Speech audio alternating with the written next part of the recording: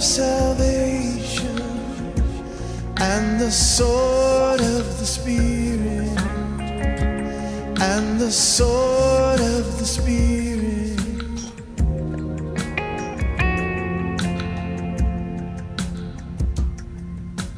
We'll be strong in the Lord.